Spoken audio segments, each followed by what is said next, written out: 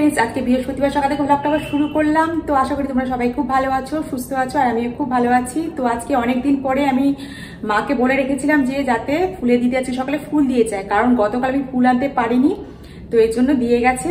আর আজকে শাশুড়ি মা এই লাইটটা অফ করতে ভুলে গেছে, এই দেখো। এই লাইটটাকে এখন অফ করতে হবে আমার। তো যাই আগে ফুলটাকে নিয়ে আসি নিচ থেকে। আজকে নিচে এসে দেখছি যে ডান দিকে তোমরা যে জানলাগুলো দেখতে পাচ্ছ না, সেই জানলাগুলো রয়েছে খোলা। মানে আগের দিন রাত্রিবেলা এগুলো বন্ধ করা হয়নি।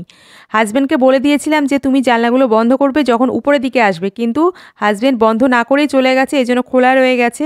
এইভাবেই বিভিন্ন রকম বিপদ আপদগুলো মানুষের বাড়িতে হয়ে যায়। তারপরে উপরে এসেছি, উপরে এসে দেখছি যে হাজব্যান্ডও ঘুম থেকে উঠে গেছে। তো যাই হোক, আমার কথাবার্তায় হয়তো উঠে পড়েছে। ভালোই হয়েছে হাজব্যান্ড তাড়াতাড়ি উঠে পড়াতে আমি বিছনাটা চট করে গুছিয়ে ফেলতে পারছি। নয়তো আবার যদি রান্নাঘরের কাজে ঢুকে যায় না, তাহলে বিছনাটা পড়েই থাকে, অনেক বেলা করে তুলতে হয়। তো আজকে সকাল সকাল বিছনাটা গুছিয়ে দিলাম। আর সকাল সকাল বিছনাটা গোছালে পরে ঘরটাও বেশ ভালো লাগে, মনে হয় পরিষ্কার পরিষ্কার একটা ব্যাপার লাগে। আমাদের মধ্যবিত্তের ঘরে বিছনাটাই হলো মেন ঘরে গিয়ে আমরা বিছনাটাই আগে দেখতে পাই। তো ছেলের বিছনাটাকেও গুছিয়ে ফেলছি, ওর কম্বল টম্বলগুলো সব গুছিয়ে গাছিয়ে রাখছি। আর ছেলের যে কোলবালিশটা না, সেই কোলবালিশটাকে তো বানানো হয়েছিল বাড়ি থেকে, এটাকে এতটা লম্বা বানিয়ে ফেলেছে, এই কোলবালিশের কভারটাও না ফেটে যায়, এই আর কি। তারপরে রান্নাঘরে এসে রান্নাবান্না শুরু করে দিয়েছি, একদিকে হচ্ছে ডাল আর ছেলের খাবারটাকে রেডি করে ফেলছি, ছেলে কলেজে যাবে, ডাল, তরকারি আর ডিম শুধু দিয়ে খেতে দিয়েছি। তারপরে আটা মাখছি, তো আটাটাকে রেডি করে রাখলাম, এদিকে ছেলের টিফিনটাকেও গুছিয়ে দিয়েছি জলের বোতল সমেত। ছেলে এখন কলেজের জন্য রেডি হচ্ছে। তুললে কি হলো রে? দেখতো কি চেপে গেছে নাকটা আর এখনই টাকাটা ভরে দিবি ফোনে বুঝেছিস? মনে থাকতে। কারণ ফোন রাস্তাঘাটে বেরোলে কিন্তু ফোনে টাকা থাকতে হয়।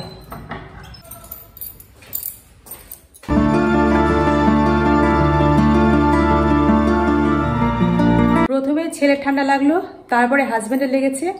এবারে আমারও ভিতরে ভিতরে অল্প অল্প লাগছে। মানে খোলামেলাভাবে যেটা একদম হাঁচি, কাশি যেগুলো হয়, জ্বর সেগুলো হয়নি, কিন্তু একটা অস্বস্তি ভিতরের মধ্যে রয়েছে। তো ছেলে তো কলেজে বেরিয়ে যাওয়ার পরে এখন আমি রুটি করছি, কারণ দুপুরবেলা রুটি খাবে এসে, তারপরে হবে পাঁচ মিষ্টির তরকারি আর ডাল আর একটা তরকারি, ফুলকপি, আলু দিয়ে। সেটা তো হয়ে গেছে, আর ভাতও করে নিয়েছি, আর হবে চুনো মাছ। এই আজকে রান্না বান্না তো প্রথমে আগে রুটিটা করি সব কিছু রেডি করে রেখেছি, এই দেখো।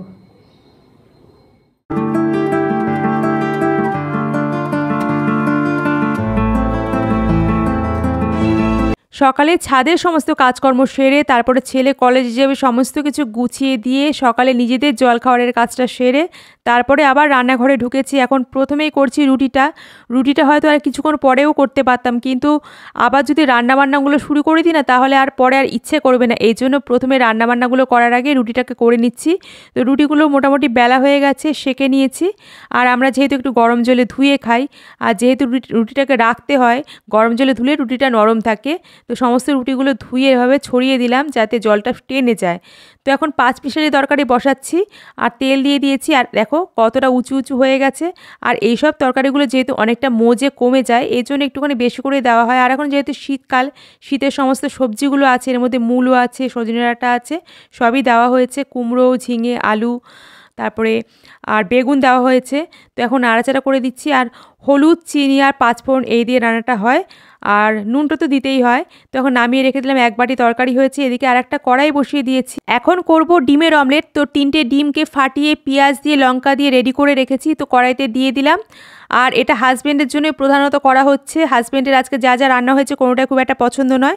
তো ডিমের অমলেটটা নামিয়ে রেখে দিলাম। এখন চুনো মাছ রান্না করছি। ওই কড়াইতেই বসিয়ে দিলাম। তেল দিয়েছি পেঁয়াজ, কাঁচা লঙ্কা আর আলু দিয়ে তরকারিটা করছি। আর একটু রসুন দিয়েছি। চুনো মাছের মধ্যে একটুখানি রসুন দিলে খেতে ভালো হয়। আজকে কালো জিরেটা দেওয়া হয়নি। আর নুন, হলুদ আর দেবো জিরের গুঁড়ো। এই দিয়ে রান্নাটা হবে। তো এখন সমস্ত মশলাগুলোকে কষিয়ে নিচ্ছি। তারপরে অল্প একটু জল দিয়ে একটু মাখা মাখা করেই রান্না করব। তো এখন জিরের গুঁড়োটা দিলাম। জিরের গুঁড়োটা আমি একটুখানি শেষের দিকে দিই, তাহলে গন্ধটা ঠিকঠাক থাকে। তো এবার ঢাকা দিয়ে দিলাম। এবারে কিছু বাসন হয়েছে, সেই বাসনগুলোকে মাজতে হবে। একটা কড়াই বেরিয়েছে। আর দিদি যেহেতু একটা কড়াই মাজে তো মাঝে মধ্যে যে দিই না তা না। মাঝে মধ্যে হয়তো কচিত ভবিষ্যৎ দুটো কড়াই দিই, কিন্তু আমি একটা করে কড়াই আমি রেগুলার দিই। তো এখন কড়াই মাজছি এমনি টুকটাক যে বাসনগুলো রয়েছে, সেগুলোকে মেজে ফেলছি। কারণ রান্নার ফাঁকে ফাঁকে এই কাজগুলো করলে পরে রান্নাঘরটাও পরিষ্কার থাকে, কাজটাও তোমার অনেকটা কমে যায়। তো আমি এরকমভাবে কাজকর্মগুলো করি আর সমস্ত কাজকর্মগুলো এই জন্য গুছিয়ে করা যায়। আজকে নিয়ে চুনো মাছ তিন দিন আসলো, এই বছরের কথা বলছি। প্রথম দিন যেদিনকে এনেছিল, সেদিনকে আমি ভাজা করে করেছিলাম। সেদিনকে মাছটা অতটা টেস্ট হয়নি। কিন্তু সেকেন্ড দিন যখন করলাম, তখন ভাজা না করে সব কিছুর সাথে মিশিয়ে একবার করেছিলাম, সেটা খুব ভালো হয়েছিল।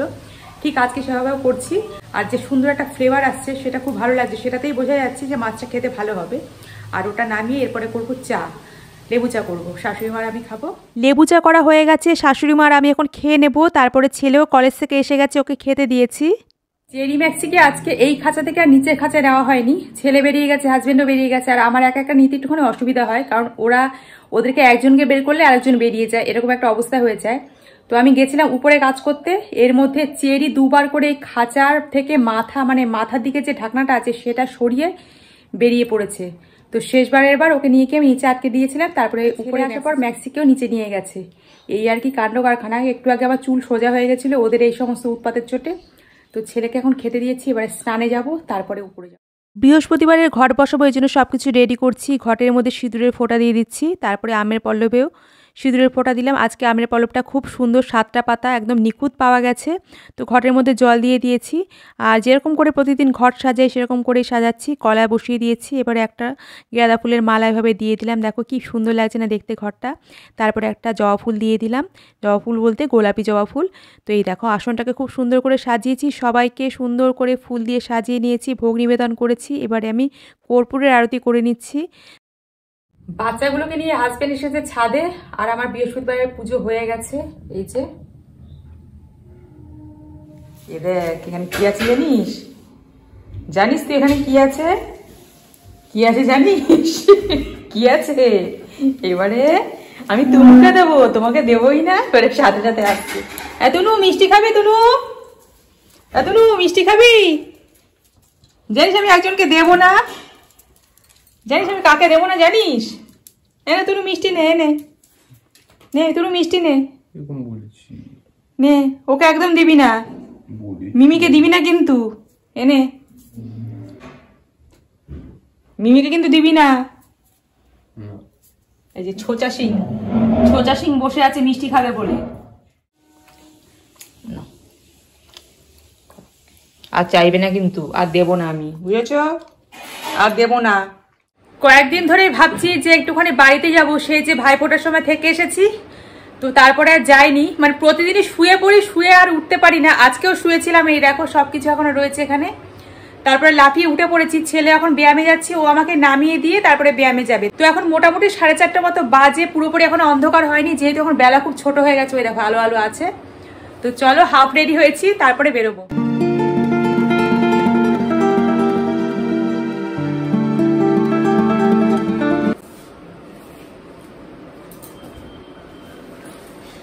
এই ব্যাগটার মধ্যে নিয়ে নিয়েছি সোয়েটার আর টুপি। তার জন্য দেখো ব্যাগটা কি মোটা হয়ে গেছে। কারণ এটা এখন না নিলে নয়, রাত্রিবেলা আসার সময় ঠান্ডা লাগবে। আর এখন তো এই মোটা ওড়নাটা পরে নিয়েছি। তো চলো বেরোই। দুটো লাইট জ্বালিয়ে কোনো লাভ নেই, একটা লাইট অফ করে দিলাম। বেরোনোর আগে হঠাৎ করে মনে পড়ে গেল যে ছাদে তোয়ালেগুলো রয়েছে, তো তোয়ালেগুলো তুলে ফেলছি, নয়তো এগুলো সন্ধ্যা অবধি পড়ে থাকবে। তারপরে ছেলে তো গাড়ি নিয়ে বেরিয়ে চলে এসেছে। তারপরে আমি বাইরে দিক দিয়ে তালা দিয়েছি, তালা দিয়ে ওকে চাবিটা দিয়ে দেবো। আর পাশের বাড়ির এনফিল্ডটা যেটার জন্য মিষ্টি খাইয়েছিল, সেই এনফিল্ডটাও বাইরে দাঁড়িয়ে রয়েছে।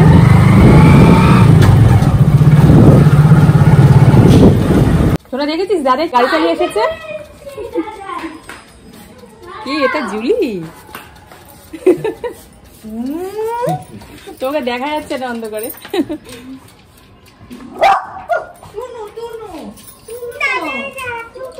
দাদা দাদা এই ব্যায়ামে যাবে শোনা। ও ব্যায়ামে যাওয়ার যাবে বলে আমাকে দিয়ে গেল।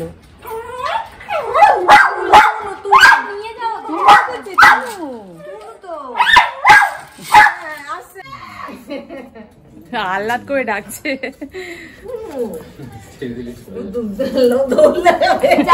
যাবে না। যাবেই না? যাবে না যাবেই না মা কেমন করছে?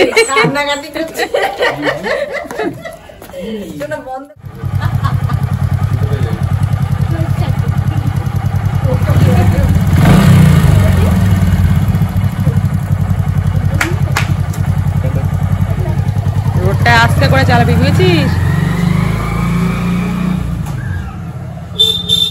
আমাদের বাড়িতে আছে মিমি আর আমাদের এই বাড়িতে হলো জুলি। তো দুইজনকে নিয়ে আমাদের সবার কেটে যায় সারাদিন। তো চা বানিয়ে দিয়েছে বৌদি, এখন চাটাকে খাচ্ছি একটুখানি তাড়াতাড়ি করে দাঁড়িয়ে দাঁড়িয়ে। তারপরে ঘরে গিয়ে অনেক গল্প করতে হবে।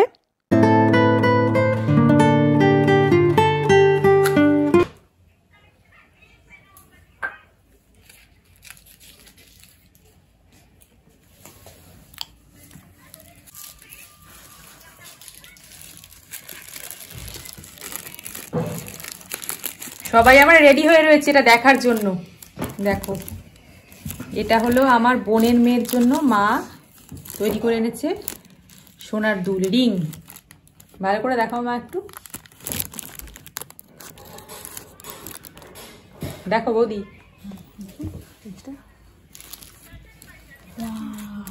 সুন্দর হয়েছে। যেটা বাঙালিদের নিয়ম আর কি, সোনার জিনিস হাতে পেলে ওয়েট দেখা। সেটাই করছে সবাই মিলে। এখন মা দেখছে বৌদি দেখে নিল। এবারে আমাদের রিজিও দেখছে। এখন তো দশ গ্রামের দাম তিপ্পান্নর মতন পড়ছে বোধ হয় আরও বেশি? যাক আমার কোনো আইডিয়া নেই। মা এটা সম্পর্কে ভালো জানে কারণ মা রেগুলার পেপার ঘাটে আর আমি এসব জানি না তৈরিও করি না। তো এটা সাড়ে আট হাজার টাকা পড়েছে সুন্দর হয়েছে। তুই মিমি হয়ে গেছিস নাকি? তুই মিমি নাম্বার ওয়ান হা করে রয়েছে। লট চমচম এটা। হ্যাঁ। সোনা নে না ওকে দাও। হয়। এটা কার চাই এটা? অত বেশি করতে যেন করে কোন সময় চেটে দেবে। না বৌদি। খাও খাও খাও পরে খাব। এক পিস। দাও চামচটা দাও। না না, লাগবে না। এ মা ভগবান! সবাইকে দিয়েছে ওকে ছাড়া। এ আমার জন্য বেছে বেছে কেশর নিয়ে আসছে। খুব বেশি সময় আজকে বাড়িতে থাকতে পারলাম না তবে যেটুকু সময় থাকলাম খুব আনন্দ করে খুব গল্প করে কাটালাম। তো আমরা মিষ্টি খাচ্ছি তারপরে এখন বেরিয়ে যাচ্ছি। তো যে জামা কাপড়গুলো আমি নিয়ে এসেছিলাম শীতের ড্রেস সেগুলো এখন পরে নিচ্ছি। এখন মোটামুটি ভালোই ঠান্ডা পড়েছে আর টোটো করে যাব তো টোটো করে গেলে পরে ঠান্ডা লাগবে। কটা থেকে তোর স্কুল? এগারোটা হ্যাঁ যেতে পারতো। কালকে কি পরীক্ষা টরীক্ষা আছে? না গেলে হবে না? শোনা সোয়েটার আর টুপিটা পরে নিলাম। বাইরে কিন্তু ভালোই ঠান্ডা পড়েছে। বাইরের ঠান্ডাটা ঘর থেকেই বুঝতে পারছি যে ঘরেও ভালোই ঠান্ডা লাগছে। একটু গরম এখন লাগছে না। আর টোটোর মধ্যে যেতে যে ঠান্ডাটা লাগে না, সেটাই ধরে নেয়। তো তার জন্য এই প্রোটেকশনটা নিয়ে নিলাম। তো বৌদি আসছে। বৌদি আর রিচু আমাকে এগিয়ে দেবে। তো চলো বেরোই। তো বৌদি আজকে আমাকে দিয়ে আসতে যাচ্ছে, কারণ দাদা আজকে নিমন্ত্রণ খেতে গেছে। কি করা যাবে? রিজুর আসার কথা ছিল, রিজু একটুখানি রাগ করেছে, আমার সাথে যেতে পারল না বলে। তো এই জন্য আমরা এখন যাচ্ছি, টোটোতে উঠবো। আমাদের বাড়ি থেকে ফেরার পথে একটুখানি ফল নিয়ে নিলাম। ওদিকে বৌদি বৌদি পরিচিত একজনের সাথে দেখা হয়েছে, গল্প করছে। তো ওখান থেকে ফল নিয়ে বেরিয়ে যাচ্ছে।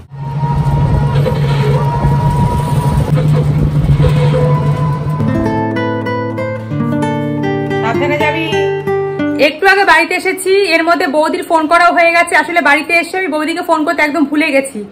বাড়িতে আসার পর চারিদিকে সবকিছু দেখে না, আর কিছু মনে থাকে না। তো বৌদি আমার উপরে রাগ করেছে, কেন বৌদিকে ফোন করিনি? তো যাই হোক, বৌদিকে বুঝিয়ে বললাম। তারপরে ছেলে এখন একটুখানি বেরিয়েছে, গেছে দোকানের দিকে। তো যেরকম হয় আর কি মানে একটা জিনিস আনতে গেছি, আমি দোকানে গেছিলাম, দোকান থেকে এলাম কিন্তু কিন্তু আমি একটা জিনিস ভুলে গেছি, এই জন্য আবার ওকে পাঠিয়েছি। তারপরে আমি আরও দেরি করে আসতাম জানো তো, আমার দাদা আমাকে যেহেতু রাত্রিবেলা নিয়ে আসে, আর আজকে দাদার একটা নিমন্ত্রণ পড়ে গেছে, ও চলে গেছে বিরাটি।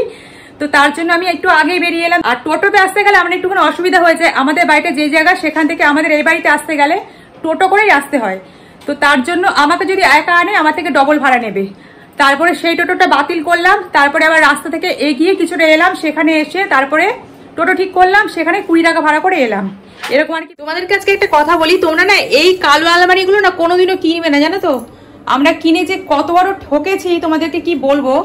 এই আলমারির দরজাটা তোমরা সব সময় দেখো, ফাঁকা দেখো, কোনো সময় এটাকে না বন্ধ করা যায় না, অনেক চেষ্টা করি।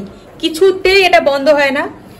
অনেকবার এই কোম্পানির লোকও ডাকা হয়েছিল মানে যেখান থেকে আনা হয়েছিল, সেই লোক এসেও ঠিক করতে পারি আমাদের মিমিকে দেখো, মিমি তুলসী পাতা খাচ্ছে। মিমি, তুই কি খাচ্ছিস, মিমি?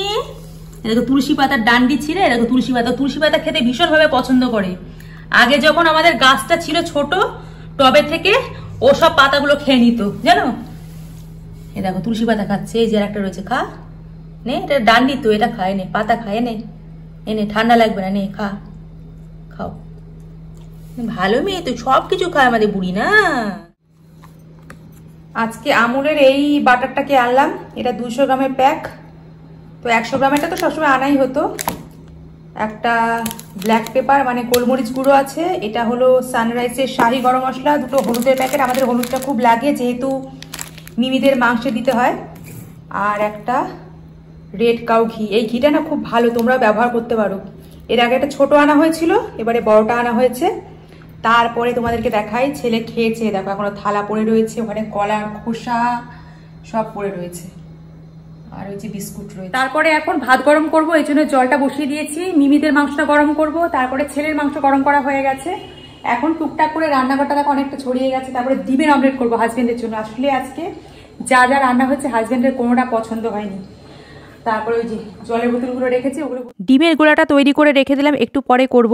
আর এখানে সবজিগুলো দেখো, অর্ধেকটা রয়েছে ক্যাপসিকাম, এখানে রয়েছে পনির, তো পনিরটাকে কাটতে হবে, আর এখানে রয়েছে জলপাই, আর রয়েছে শশা তো সব কিছু রেডি করব, এদিকে ডিমের অমলেট করা হয়ে গেছে, ওটাকে হাঁড়ির উপরে গরম গরম রেখে দিলাম। আর পনিরটাকে নিয়ে নিলাম, এবারে পনিরটাকে একটুখানি টুকরো টুকরো করে নিই। আর একই রকমভাবে কাটতে পারলে পরে খুবই ভালো হয়, আর পনিরটা খুব নরম, আমি কাটার সময় বুঝতে পারছি, একদম নরম নরম লাগছে, এই পনিরটা খুব একটা সুবিধার হবে না। কিছুটা হাজব্যান্ডের কাজ কমিয়ে রাখছি, কারণ পনিরটা যেভাবে কাটেন আমার হাজব্যান্ড আমার একদম পছন্দ হয় না, এই জন্য আমি আমার মতন করে কেটে নিচ্ছি। আর সত্যি কথা বলতে একটুখানি নতুন জিনিসের মধ্যে কাটতেও ভালো লাগে, তো সেই জন্যও কাটছি। আর এটা নরম জিনিস তো, এটা কোনো প্রবলেম নেই কাটতে। তারপরে আজকে অনেকগুলো কাজই করে রাখব, পনিরটাকে প্রথমে কেটে নিই, তারপরে এখানে কিছু সবজি আছে যেগুলো একটুখানি কেটে রাখব, ভাবছি, দেখি কতটা কি করতে পারি।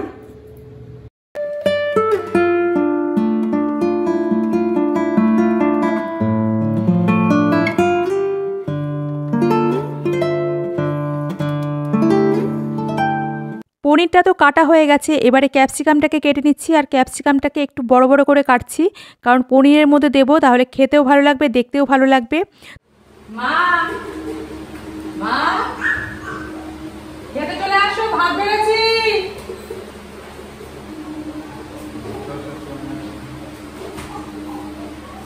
সবার খাওয়াটাই রেডি করে ফেলেছি। তো রাত্রে আমরা এখন খেয়ে নেব। শাশুড়ি মাকে অনেকবার ডেকে এলাম। শাশুড়ি মা আজকে, আসতে একটু দেরি করছে। তো যাই হোক, অনেক সময় বলে যে ওনার রাত্রে ভালো খিদে পায় না, এই জন্যই হয়তো দেরি করছে।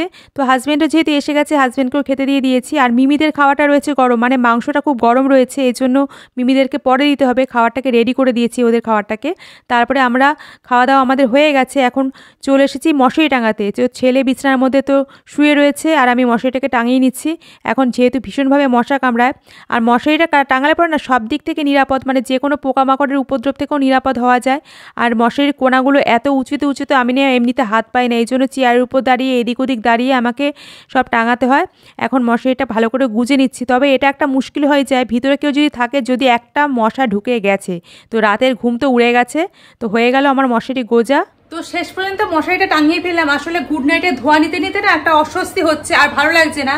আর গুড নাইটে এখন মানছে না, যেহেতু উপরে ফ্যান চলে না ফ্যান না চললে গুড নাইট সেভাবে কাজ করে না, মশা কিন্তু কামড়ায়। এই জন্য এখন থেকে আমি মশারিটা টাঙানো শুরু করলাম। আর প্রত্যেক বছর এটা হয়, শীতকালে মশারিটা টাঙিয়ে শুই। তো তুনু, ওই ঘরে গিয়ে মশারি টাঙিয়ে শুবি, এখন কিন্তু প্রচণ্ড মশা কামড়ায়, বুঝেছিস?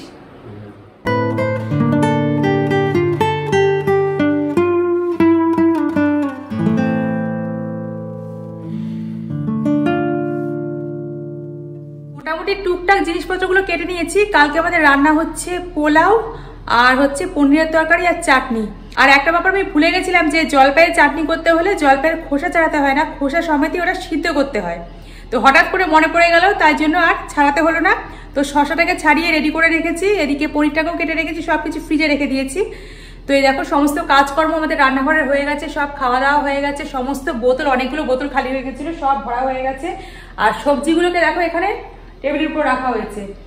তো শাশুড়িমা হয়তো সকালবেলা টুকটাক কেটে দেবে এই আর কি। তো যাই হোক, আজকের ভিডিওটা এই পর্যন্ত। তোমাদের সম্পূর্ণ ভিডিও কেমন লাগল অবশ্যই তোমরা কমেন্ট কমেন্ট করে জানিও বন্ধুরা। তো তোমাদের সঙ্গে দেখা হচ্ছে পরের দিন নতুন আরও একটি ব্লগে ততক্ষণের জন্য তোমরা সকালে খুব ভালো থেকো, সুস্থ থেকো এবং খুব সাবধানে থেকো। Good night